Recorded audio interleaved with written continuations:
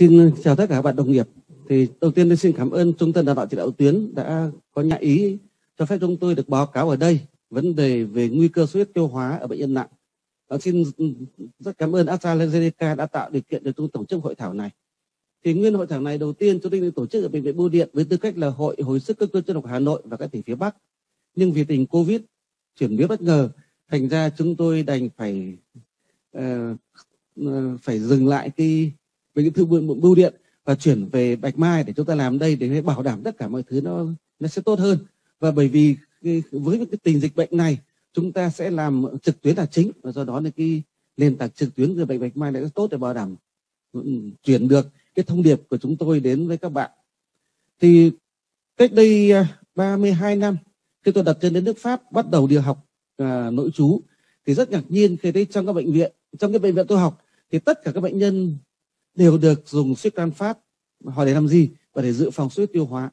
Thì trước đó đối với ở Việt Nam chúng ta thì chưa từng nghe đến chữ suýt tan phát với ức chế H2 với các thuốc ức chế H2 thì mới chỉ là biết đến simetidin thôi chưa biết ranitidin là cái gì. Và cái từ gọi là ức chế bơm proton thì hoàn toàn chưa hề có trong trong, trong, trong cái hiểu biết của chúng tôi. Thì ngay từ hồi đó chúng ta đã thấy là ở phương Tây rất chú trọng đến vấn đề điều trị dự phòng cái loét tiêu hóa và suất tiêu hóa ở bệnh nhân nặng và chúng tôi nhớ lại khi tôi học ở Việt Nam thì đã có nói là loét dạ dày hành tai tràng một trong những nguyên nhân là xét và từ đó trở đi thì cái hiểu biết của chúng ta về vấn đề loét và xuất huyết do xét càng ngày càng nhiều hơn. Và trong năm 1994 thì khoa hồi sức A9 tiến hành một đề tài nghiên cứu dài hơi đối chiếu ngẫu nhiên à, đối chứng ngẫu nhiên. Những bệnh nhân dùng suất phát và không dùng suất phát để dự phòng loét tiêu hóa và đây là đề tài một đề tài tiến sĩ. Và cái đề tài đó cho thấy là có cái hiệu quả rõ rệt của việc sử dụng dự phòng loét ở bệnh nhân suất tiêu hóa. À, ở bệnh nhân à, bệnh nhân à, hồi sức cấp, cấp cứu. Tuy nhiên thì những dân gần đây nó có nhiều điểm. Đầu tiên là bảo hiểm không thanh toán cho việc điều trị dự phòng cho việc dự phòng suất tiêu hóa bệnh nhân hồi sức cấp cứu nữa. Và điều trị thì được nhưng mà dự phòng thì không được nhiều bác sĩ hồi sức cấp cứu đã phải ghi trong bệnh án là dịch dạ dày nâu đen để có cớ để mà sử dụng thuốc cho bệnh nhân. Bởi vì chúng ta biết là cái nguy cơ xuất huyết rất lớn nếu không dự phòng sẽ nguy hiểm. Tuy nhiên sau rất nhiều cái uh, buổi thảo luận và dẫn chứng những tập những tài liệu nước ngoài thì chúng ta thấy là dần dần bên bảo hiểm y tế đã công nhận là cần phải tiến hành dự phòng xuất huyết tiêu hóa cho bệnh nhân nặng. Và như vậy thì những cái um, điều trị đó được đưa vào bảo hiểm thanh toán như vậy thì hôm nay ở đây chúng tôi muốn trình bày. Vậy thì có phải tất cả các bệnh nhân nặng đều cần phải dự phòng không? Và nếu không thì những bệnh nhân nào cần dự phòng và bệnh nhân nào chưa cần dự phòng? Thì chúng ta biết là về mặt cơ chế thì cơ thể bị xét nặng, ví dụ như là chấn thương nặng, ví dụ như là phẫu thuật phức tạp và đặc biệt là bệnh nhân nằm hồi sức cấp cứu thì sẽ có xuất hiện tổn thương đường tiêu hóa cấp, tổn thương có thể từ mức nhẹ là viêm xước cho đến loét và nặng hơn để xuất huyết hoặc là thậm chí thủng dạ dày. Và cái việc bệnh nền càng nặng thì tỷ lệ xuất tiêu hóa và tử vong do xét ở bệnh nhân nặng này ngày càng cao. Và khi đó thì nếu chúng ta nhận diện được nguy cơ, chúng ta cần phải quản lý yếu tố nguy cơ và tiến hành điều trị dự phòng loét ngay.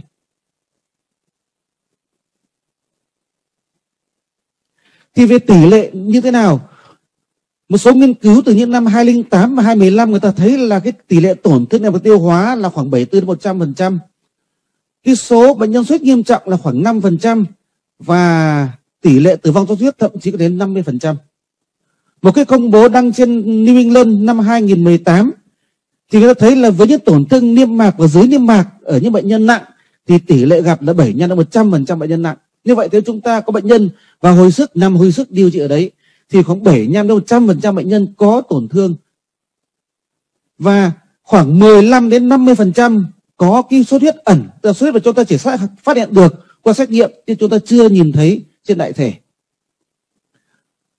Với một xuất huyết dạ dày mà xuất huyết rõ có thể nhìn thấy được thì người ta thấy là khoảng sấp xỉ 5% số bệnh nhân nặng nằm hồi sức có xuất hiện xuất huyết dạ dày mà phát hiện được và trên lâm sàng. Và các bạn chú ý là con số này ở những bệnh nhân mà nằm các khoa nội thông thường không phải hồi sức thì chỉ là 0,3% thôi và trong số những bệnh nhân xuất huyết nặng thì chúng ta biết là nếu như có 5% nhân xuất huyết thì khoảng 3% số bệnh nhân nằm hồi sức có thể xuất huyết nặng. Và xuất nặng là gì? Là huyết áp tụt, là ờ, uh, hemoglobin giảm và phải truyền ít nhất là hai đơn vị máu trong 24 giờ để gọi là xuất huyết nặng. Thì tỷ lệ xuất huyết nặng gặp ở khoảng 3% bệnh nhân hồi sức cấp cứu. Với những bệnh nhân ở các bệnh phòng thông thường, ngoại khoa, nội khoa thông thường thì tỷ lệ đấy là 0,2%. Như vậy thì một bệnh nhân nằm hồi sức cấp cứu theo những cái nghiên cứu này, người ta thấy là cái tỷ lệ gặp xuất huyết nặng cũng như xuất huyết trên lâm sàng gấp khoảng 15 lần số bệnh nhân nằm các khoa nội. Và đấy là cái cơ sở để ta nhận định là việc điều trị dự phòng, việc dự phòng loét dạ dày và xuất huyết tiêu hóa trên là cần thiết. Thì ờ, chúng ta biết là cái việc xuất huyết tiêu hóa cũng như loét dạ dày đấy ở bệnh nhân ICU nó sẽ làm tăng thời gian nằm hồi sức, sẽ làm tăng nguy cơ suy đa tạng và có thể nó làm tăng nguy cơ tử vong. Tuy nhiên, con số 82% này cần phải thận trọng về chúng tốc cuối cùng chúng tôi sẽ trình bày một cái ờ, nghiên cứu để xem là cái tỷ lệ tử vong ở bệnh nhân suy tiêu hóa nặng do xét có thực sự là tăng hơn những bệnh nhân không, suy tiêu hóa hay không. Thì chúng ta nhắc qua một chút thôi về cơ chế. Thì cái cơ chế gây ra loét, các bạn biết rồi. Mà trong cái tổn thương lết do xét thì người ta chú trọng vào cái vấn đề là thiếu máu của niêm mạc dạ dày. Và bình thường cái lớp cơ chế bảo vệ bình thường là lớp nhầy và bicarbonate rồi lớp biểu môn niêm mạc là ta mới liên tục. Sự trao đổi axit bazơ qua lớp nhầy rồi vi tuần hoàn rất là ổn định. Thì khi mà cái vi tuần hoàn tổn thương với cái cái, cái tuần hoàn nuôi dưỡng cái vùng niêm mạc dạ dày bị tổn thương trong trong những bệnh nhân bị xét thì khi đó cái cân bằng bị phá vỡ tổn thương niêm mạc dạ dày hình thành xuất hiện, bắt đầu để chúng bạn thấy là sẽ bắt đầu là cái tổn thương lớp dưới niêm mạc và niêm mạc, xong là xuất huyết ẩn, xuất huyết lâm sàng và thậm chí xuất huyết nặng. Thì ờ, bác Du năm 2015 có tóm tắt trong cái sơ đồ như thế này. Một bệnh nhân bệnh nặng thì có thể có căng tay, tăng catecholamine, có thể có sốc, có hạ huyết áp và có thể có giảm thể tích tuần hoàn. Những cái đó sẽ gây ra giảm côn lượng tim và gây ra tăng co mạch, tăng, đặc biệt là tăng giải phóng các cytokine tiền viêm, từ đó dẫn đến giảm tới mô tạng và niêm mạc những cái tưới máu giảm này nó gây ra những cái gì? Giảm THCO3 rồi giảm túi máu niêm mạc dạ dày, rồi giảm nhiệt động dạ dày, giảm các yếu tố bảo vệ và khuếch tán axit nhược lên thành dạ dày.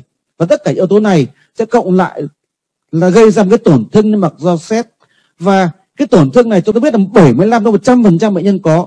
Vấn đề nó nặng đến nước mức nào? Thì những người mà có nguy cơ càng cao và càng nhiều nguy cơ thì cái tổn nó càng nặng. Và mức nặng nhất có thể là xuất huyết tiêu hóa nặng.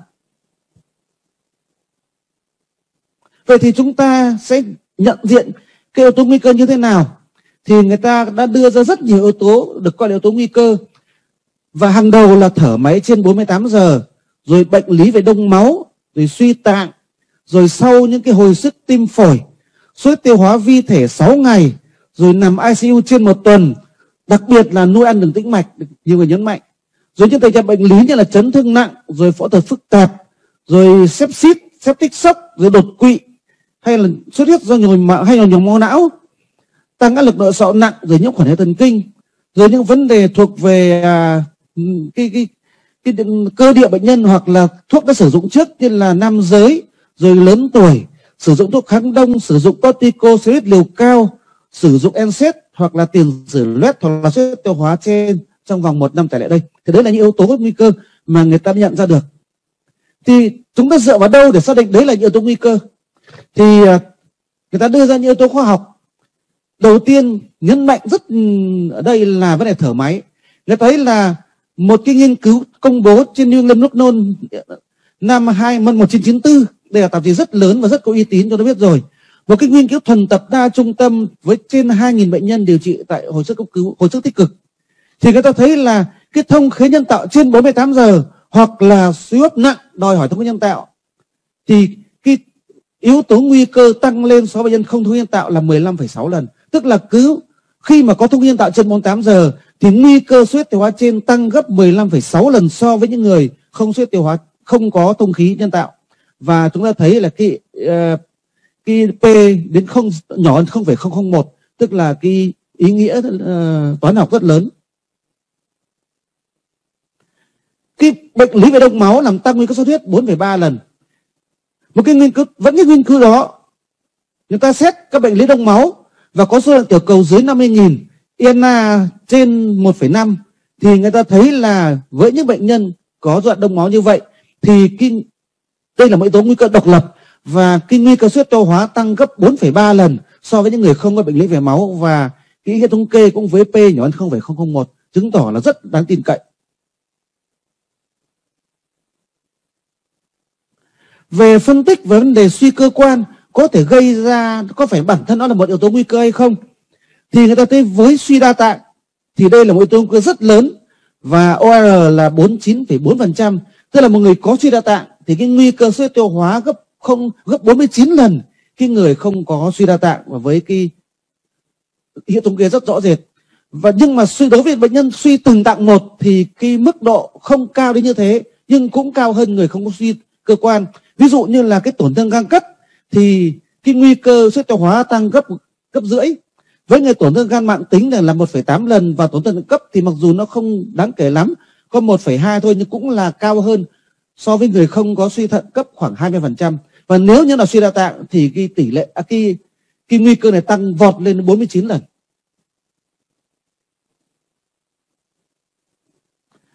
Một trong yếu tố nguy cơ nữa ta phân tích được là nằm hồi sức cấp cứu lâu ngày. Thì đây là một cái nghiên cứu công bố năm 1984 cái này là nghiên cứu ờ, đây là một cái xử lý ờ, đơn biến chứ phải đa biến. Thì chúng ta thấy nếu mà xét về cái số bệnh nhân có xuất huyết tiêu hóa trên, thì với người nằm viện, nằm ICU dưới một tuần, so với nằm ICU trên một tuần thì là 48% so với 2%. Và với những người mà xuất huyết tiêu hóa trên rõ rệt thì chúng ta thấy là 21% với người nào ICU trên một tuần và với người nằm chiếm dưới một, một tuần thì không rõ. Vậy rõ ràng nằm ICU càng lâu thì cái nguy cơ suy tiêu hóa càng lớn và do đó thì chúng ta thấy là vấn đề chúng ta sẽ đặt ra vấn đề dự phòng như thế nào. Một trong những điểm nữa về mặt yếu tố nguy cơ là đa chấn thương. Thì nghiên cứu công bố từ năm 95 chúng tôi tìm lại nghiên cứu này hơi vất vả bởi vì năm 95 là không thấy trên à, không có bài bài phân tích trên mạng mà chỉ có bài uh, tóm tắt thôi. Và đọc bài tóm tắt cố gắng hiểu ý tác giả muốn nói gì. Thì nhận như thế như này ạ. Tức là khi mà phân tích với điểm cắt của cái điểm chấn thương ISS là 16 thì với điểm cắt 16 thì cái nguy cơ suất tiêu hóa tăng 12,6 lần ờ, OL OL là 12,6 lần. Và người ta thấy là phần lớn các suất tiêu hóa xuất hiện ở giai đoạn sớm của chấn thương khoảng 80% bệnh nhân xuất huyết xảy ra giai đoạn sớm của chấn thương và xảy ra ở giai đoạn sau, giai đoạn hồi phục thì khoảng gần 20%.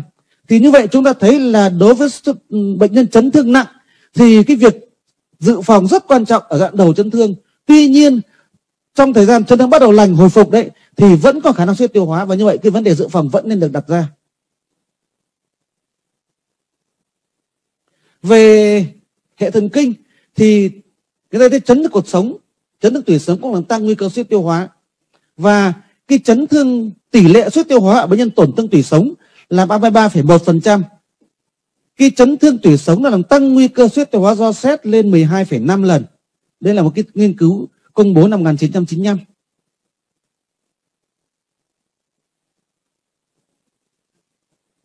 Và đặc biệt là chấn thương sọ não. Chấn thương sọ não người ta thấy là cái nó cũng là một nguyên nhân gây nguy cơ gây suy tiêu hóa.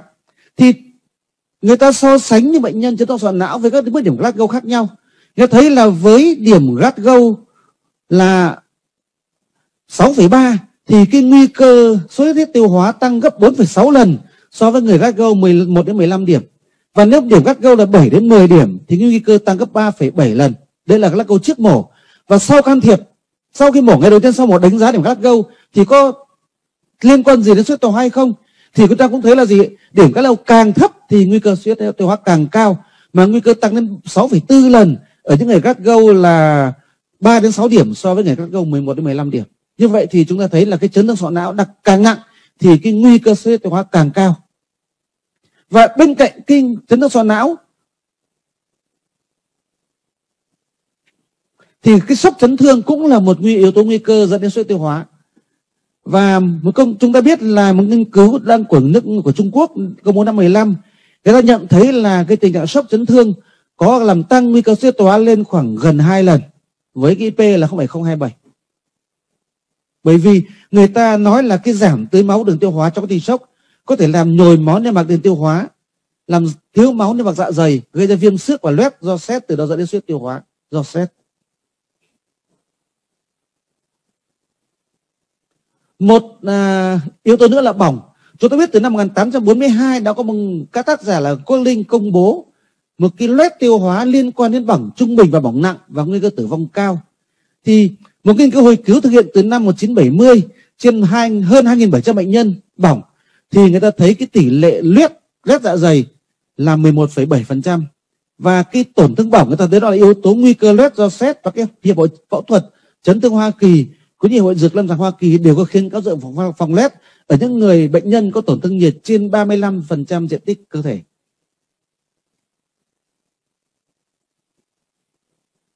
Với nhân khép tạng thì chưa thấy có nghiên cứu so sánh nhưng mà người ta thấy là tỷ lệ loét do xét ở người ghép tạng là khoảng 3,27%.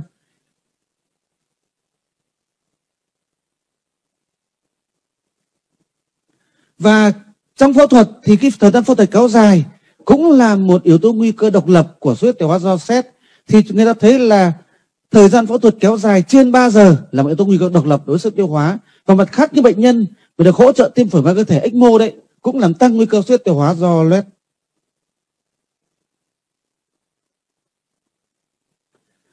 Về các bệnh lý nội khoa thì đột quỵ do xuất huyết não hay là nhồi máu não đều có thể làm tăng tỷ lệ suy tiêu hóa và làm tăng tỷ lệ tử vong thì người ta thấy là đột quỵ sau thuyết tiêu hóa sau đột quỵ là yếu tố nguy cơ độc lập và tăng tỷ lệ tử vong 25 lần. Và với đột quỵ do suất à, uh, não đấy thì tỷ lệ suất tiêu hóa lên 30% cho bệnh nhân đột quỵ. Tăng lượng nội sọ làm tăng nguy cơ suất tiêu hóa 2,3 lần.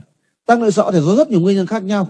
Đột quỵ rồi do chấn thương sọ não vân vân và so sánh cho bệnh nhân có tăng áp lực nội sọ và không có tăng lượng nội sọ thì người ta thấy là với bệnh nhân mà không có tăng lượng nội sọ thì tỷ lệ suy tiêu hóa trên là 4,7% và cái người có tăng lượng nội sọ tỷ lệ là 15,3%. Đây là nghiên cứu trên 1.500 bệnh nhân. Và với bệnh bệnh nhân mà có nhiễm khuẩn hệ thần kinh trung ương thì cũng có tăng cái nguy cơ suy tiêu hóa lên khoảng 1,2 lần. Như vậy chúng ta thấy một bệnh nhân vừa chấn thương sọ não, vừa mổ kéo dài, vừa tăng lên nội sọ, vừa nhiễm khuẩn thần kinh trung ương thì chắc là tỷ lệ nó sẽ tăng đáng kể. Thì cái tình trạng nhiễm khuẩn cũng là một yếu tố nguy cơ suy tiêu hóa. Thì với cái sepsis sepsis là một cái tình trạng nhiễm khuẩn có tổn thương cơ quan, đe dọa tính mạng. Và nặng hơn nữa là septic shock.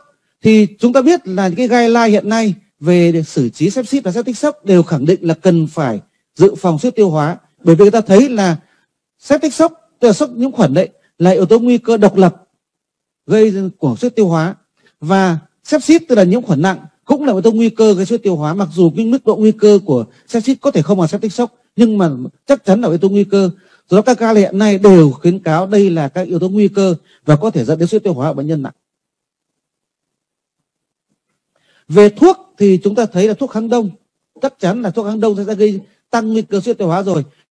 Một người bình thường, xin lỗi, một người không có xét, không có bệnh lý về tiêu hóa dùng thuốc kháng đông, thì cái những người đó thì cái nguy cơ có thể ít, nhưng mà nếu mà người có thêm một cái xét nữa thì cái nguy cơ sẽ tăng lên. Và người ta thấy là trên, vẫn cái nghiên cứu chúng ta nói lúc đầu, trên hơn 2.000 bệnh nhân nhập ICU đấy, thì cái cái nguy cơ suy tiêu hóa trên ở bệnh nhân dùng thuốc kháng đông là tăng gấp 3,3 lần so với những người không dùng thuốc kháng đông.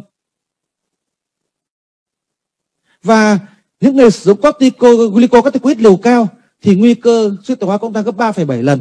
Cái này chúng ta biết từ rất lâu rồi và ừ, cái nghiên cứu cũng chứng minh là cái cái hiểu biết của chúng ta phù hợp với thực tế. Về tiền sử loét tại tàn trước đây thì cũng làm tăng nguy cơ suy tiêu hóa lên 2,8 lần. Chúng ta lưu ý với những bệnh nhân mà có tiền sử loét một số đã điều trị khỏi rồi nhưng khi gặp xét có thể xuất hiện trở lại và có nguy cơ xuất tiêu hóa. Một điểm nữa chúng ta hết hết sức lưu ý là bệnh nhân càng lớn tuổi thì xuất tiêu hóa nguy cơ xuất tiêu hóa càng cao. Thì một cái phân một cái nghiên cứu công bố năm 2015 thì người ta so sánh cái nhóm tuổi dưới 40 được coi là trẻ với các nhóm tuổi tuổi cao. Thì 50 59 tuổi, 60 69 tuổi người ta thấy là khi mà tuổi càng cao, thì nguy cơ suy tiêu hóa khi nằm ICU càng cao, từ gần gấp gần gấp rưỡi ở nhóm nhóm 50 năm 9 tuổi, cho tới gấp hơn hai lần ở nhóm trên 80 tuổi so với nhóm bệnh nhân dưới 40 tuổi. mà các bạn đều biết là bệnh nhân hồi sức cấp cứu thì phần lớn là người cao tuổi. Và chúng ta nói, chúng ta kể rất nhiều yếu tố nguy cơ. Và một điểm chắc chắn là gì ạ? Là càng có nhiều yếu tố nguy cơ thì nguy cơ suy tiêu hóa càng cao. Chúng ta thấy đây là một nghiên cứu công bố năm 2005 người ta so sánh nhóm có dự phòng và không dự phòng. Và đồng thời người ta so sánh những cái nhóm có một yếu tố nguy cơ, hai yếu tố nguy cơ và nhóm có từ ba yếu tố nguy cơ trở lên. Chúng ta thấy kể cả nhóm dự phòng và không dự phòng thì càng nhiều yếu tố nguy cơ thì tỷ lệ suy tiêu hóa càng cao. Và cũng nghiên cứu này, người ta cho chúng ta thấy là hiệu quả của đi dự phòng.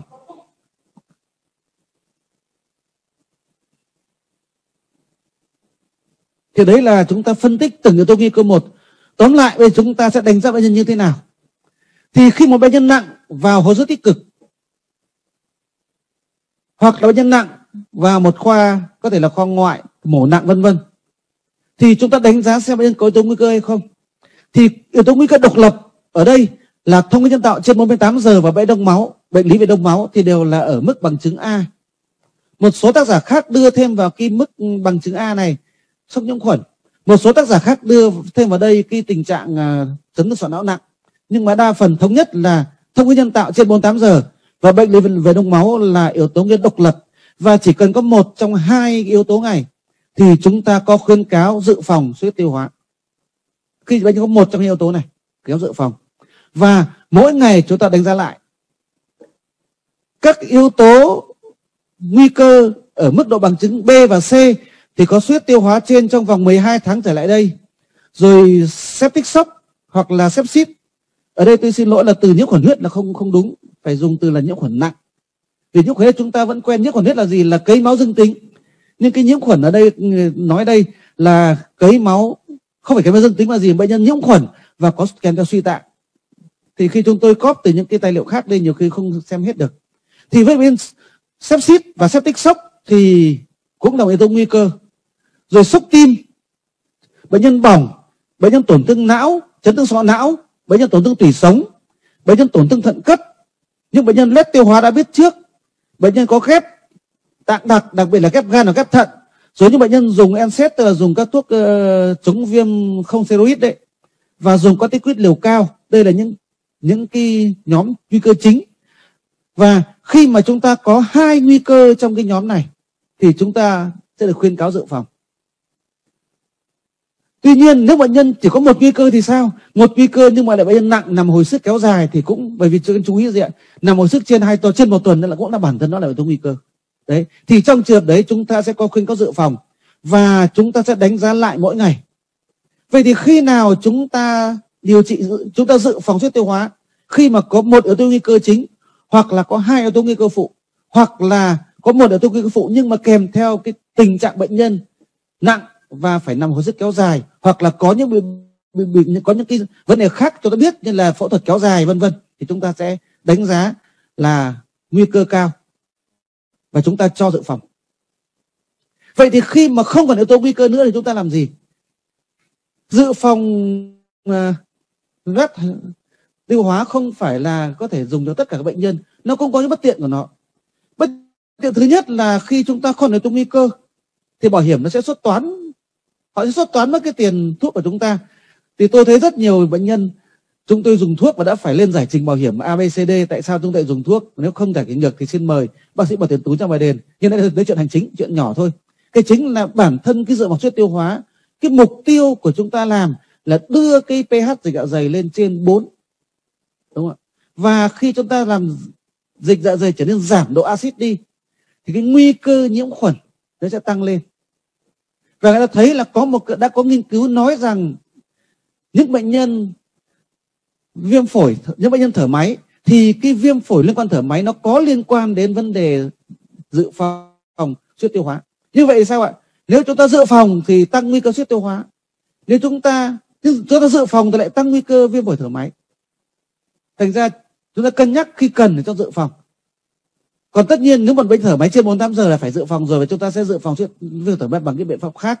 Nhưng mà nói chung là khuyến cáo là gì ạ? Là không có yếu tố nguy cơ thì nên ngừng dự phòng. Nhưng tất nhiên ở đây chúng ta phải đánh giá thế nào yếu tố nguy cơ và lưu ý một điểm là một bệnh nhân nằm hồi sức trên một tuần cũng đã là một yếu tố nguy cơ rồi. Và chúng ta nên cân nhắc từng trường hợp cụ thể chứ không nên máy móc áp dụng cho tất cả các bệnh nhân. Thì cái vấn đề điều trị thì chốc nữa thì khanh sẽ nói nhưng còn trong cái điều trị, trong cái dự phòng xuất tiêu hóa thì chúng ta thấy vấn đề đặt ra là chúng ta nâng và chúng ta duy trì dịch dịch pet dịch vị trên 4 thì khi với một cái pet trên 4 chúng ta thấy nó sẽ giảm kích thích trực tiếp của axit dịch vị lên trên mặt dạ dày là, và chúng ta giảm thiểu được cái thương tổn đau dạ dày và giảm tiết axit dịch vị, giảm hoạt động của pepsin và giảm tổn thương lân nhằm bằng lót do pepsin. Chúng ta thấy có cái sơ đồ chúng ta đặt gì ạ? Đấy là cái giá trị pH của dịch vị, nó liên quan đến hoạt động tối đa của pepsin. Và khi PET ở mức trên 4 thì hoạt động pepsin giảm rất rất rõ. Và như vậy, chúng ta phòng ngừa được loét và phòng ngừa được suất tiêu hóa do xét và có hiệu quả. Như vậy thì chúng ta có thể tóm tắt lại gì ạ? Khi nào chúng ta bắt đầu khởi động cái việc dự phòng loét và suất tiêu hóa ở bệnh nhân nặng, thì khi bắt đầu điều trị ngay thời điểm xuất hiện yếu tố nguy cơ. Và nhớ rằng một bệnh nhân vào hồi sức tích cực đấy là một thứ tố nguy cơ. Còn ở các đơn vị khác trong bệnh viện không phải kho hồi sức thì chúng ta cân nhắc quyết định dựa theo tình trạng cụ thể của bệnh nhân theo những cái bảng yếu tố nguy cơ lúc nãy chúng tôi có trình bày. Và nếu các bạn muốn tìm một bảng đầy đủ hơn vì trên slide thì không thể nào chi tiết được. Bạn muốn tìm đầy đầy đủ hơn các bạn có thể tìm cái khuyến cáo của hội hội tiêu hóa Việt Nam hội hồi sức cấp cơ chất độc Việt Nam à, vừa ban hành bản thảo. Bản bản thảo thì nhân đã ban hành rồi và đã đã phân phát rồi trong thời gian tới, ngắn tới sẽ có bản chính thức, thì chúng ta sẽ có đầy đủ tất cả yếu tố nguy cơ và chúng ta đánh giá nó có một yếu tố nguy cơ chính thì dự phòng. Có hai yếu tố nguy cơ phụ thì chúng ta tiến hành dự phòng. Và có nên ngừng dự phòng hay không thì hiện nay chưa chắc chắn, nhưng về mặt lý thuyết thì hết yếu tố nguy cơ thì ngừng dự phòng. Chắc chắn như vậy. Nhưng với bệnh nhân nằm hồi sức thì có một chút cân nhắc là có thể chúng ta dự phòng tiếp tục khi còn nằm ICU và hoặc là thận trọng hơn, thì chúng ta dự phòng cho tới khi bệnh nhân ăn được hoàn toàn đường tiêu hóa. Nếu bệnh nhân không thể nuôi dưỡng đường tiêu hóa được phải nuôi dưỡng tĩnh mạch thì đều có nguy cơ lớn và chúng ta vẫn phải tiếp tục dự phòng. Nhưng khi đã nuôi ăn được đường tiêu hóa rồi, chúng ta có thể ngừng dự phòng nếu các yếu tố nguy cơ khác cũng đã đã hết. Tuy nhiên là chúng ta phải tùy từng cá thể bệnh nhân, phân tích tất cả các tình trạng bệnh của bệnh nhân có yếu tố nguy cơ để quyết định là chúng ta nên ngừng hay nên tiếp tục dự phòng. Bản thân tôi tôi muốn ngừng. Nhưng mà từng bệnh nhân một, tôi khuyên các bạn là nên đánh giá thật cẩn thận từng bệnh nhân.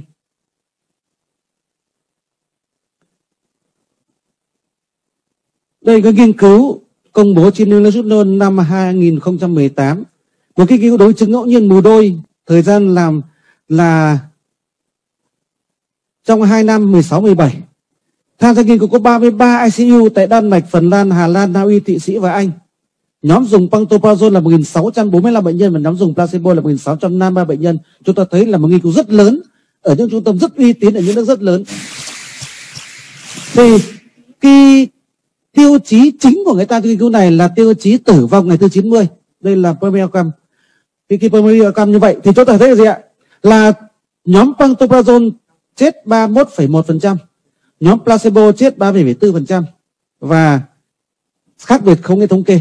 Như vậy thì nếu chúng ta lấy cái tiêu chí chính là dự phòng loét là chết ở ngày thứ 90 thì chẳng có giá trị gì cả. Tuy nhiên một cái tiêu chí phụ thì người ta bới ra được là gì?